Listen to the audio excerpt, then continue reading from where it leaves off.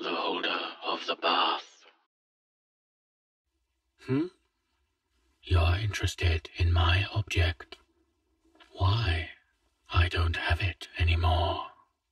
The fact that you have encountered a holder without having to go through the stereotypical eternal madness or fate worse than anything hell could give you traps should be a sign that he took it and I didn't feel the need to maintain my domain. Seriously, Seeker, you'd think that finding the 538 that are left would be traumatic enough. Oh, very well. If you're that curious, I can tell you about what the path to my object was like. In any bathhouse in any part of Japan, you would have had to go up to the attendant and pay the usual fee for entry. You also could have bought whatever else you needed, be it a washcloth, towel, shampoo, whatever. One thing you had to buy, however, was two ice creams. When you buy the ice creams, you have to ask the attendant for whatever kind that the holder of the bath likes.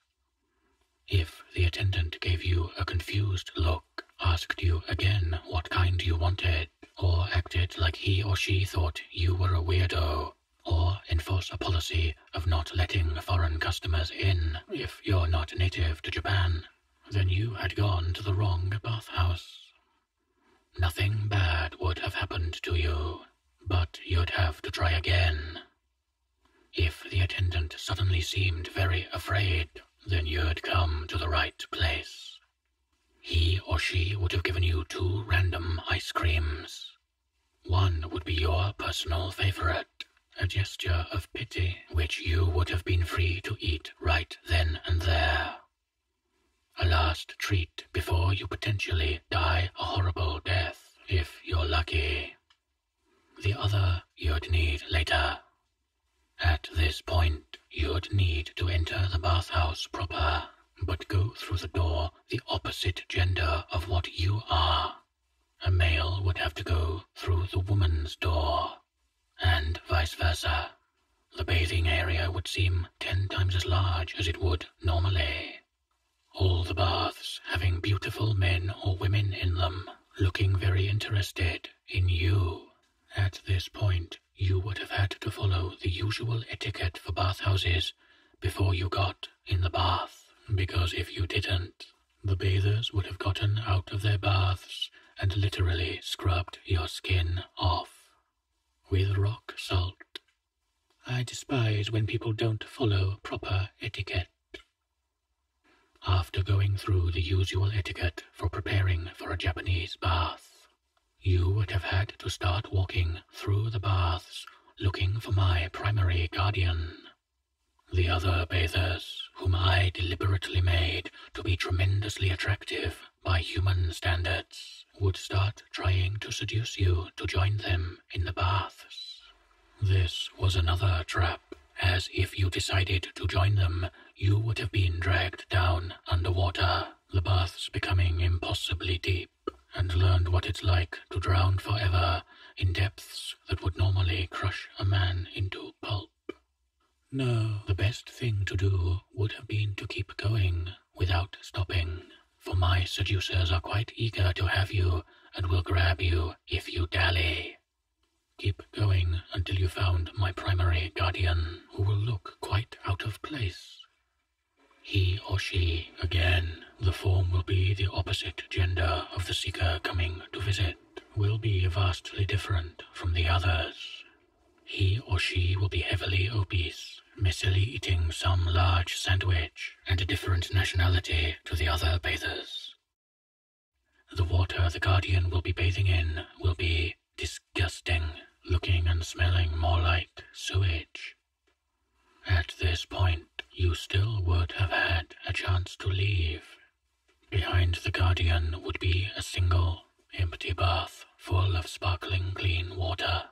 If you wanted to leave, then you would simply have to sit in the empty bath, close your eyes, and go underwater until your breath gives out. You would find yourself in the bathtub in your home or nearest friend's house, If you only have a shower at your home, with the second ice cream nearby. If you had the metaphorical balls to stay, then you would have had ask to join my primary guardian in the tub. He or she will rudely dismiss you at first. Try again, and you'd be dismissed again, this time with a crude sexual insult. Offer him or her the ice cream on the third time, and the third time only, and the guardian will consent. At this point, you would have been allowed to get into the bath with my primary guardian. You would have had to show no disgust at the water and act as if you were getting into a nice, relaxing hot tub and immerse yourself up to the chin. Any sign of disgust, and you would have become the guardian's next meal, soon after to become part of the filth in the water. My primary guardian would then start talking, casual banter. It could have been on anything sports, national politics, celebrities, video games, anything at all. It would have been in your best interest to act as interested as possible, because if the guardian becomes offended, well, you're not actively seeking my object now. I see no reason to trouble you with it. Suffice to say, you would have seen what he or she really looked like before your eternal torment began. Midway through the conversation, the water will start getting hotter, the smell getting worse and worse. Showing any disgust during this point, and you would have regretted it. Keep listening to the Guardian and keep acting interested. Try not to lose consciousness as well, as you would have sunk into the filthy water and become a part of it forever, as other seekers did before you. When my guardian started talking about romance, and only when romance is the topic, at this point it was very important that you interrupted him or her, asking if the water seems too hot. The guardian will disagree. The only correct thing to say at that point was this. Well, it is for me. I'm greatly enjoying your company, but it's hard to focus on what you're saying. If the guardian looks amused, then he or she didn't believe you and will consume you right then and there. If the guardian blushes, then he or she would have pointed out my office through a door on a wall that wasn't there before. Get up and go through the door without bothering to cover up or wipe off the filth. You would have needed it. You would have found me at my desk, writing various reports in the language. Nothing you would do would have gotten my attention except for grabbing me in the face and smearing the filth on me. Yes, I know. But when I became the holder, I was told to ignore any seeker unless they did that. Who told me? Bring the objects together and you'll find out. Anyway, once you got my attention and I cleaned my face off, I would have asked you what you wanted. Any response that wasn't, will anyone feel clean again after they are brought together, would have resulted in the filth covering you to become corrosive, your death slow and agonizing. Ask the right question, and I would have let you use the shower in my office to clean up. As you are cleaning up, I would have given the answer to your question. It will be simple, concise, and to the point, and has left many seekers feeling unclean for the rest of their lives. Afterwards, I will say that the water in the tub you are in has been fixed. Go back and join my guardian again, only this time the water will be clean and the guardian will have taken a form you find appealing. Join him or her in the tub again. The guardian now respects your courage and will not harm you. At this point, you could talk about whatever you like. Flirt with him or her.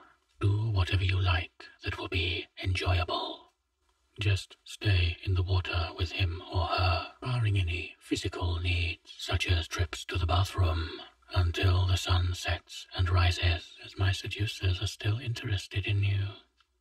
Once the sun rises, I would have come out again and asked you to leave.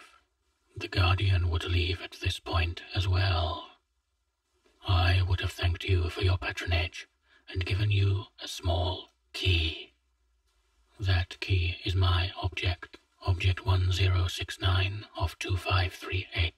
With it, you would have been able to rent any hotel or motel room that isn't related to a holder quest for free and hold full mental control over all members of the hotel's staff. Yes, you could have used it for that as well. Not that it matters, since he took it. Why do you want to know this, Seeker?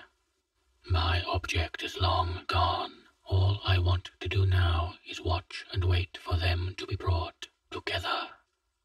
Hmm? A website. There's a collection of stories depicting the instructions for the objects on them. Interesting. How many of the lost objects are listed there? I wonder what would happen if the instructions for gaining all 2538 objects were brought together on that site. I wonder if that would count as bringing the objects together. Food for thought, Seeker.